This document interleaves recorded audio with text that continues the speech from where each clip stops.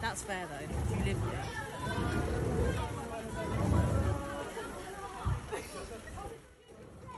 Well, they've got two of them come up for it.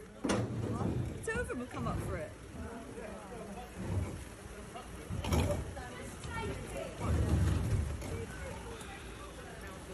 They've never been that quick at cleaning up. Uh, they have never cleaned up anything like this. This Where's this speed? See that lady there? She pinched the frying pan. Good idea. That's so clever. Got the frying pan.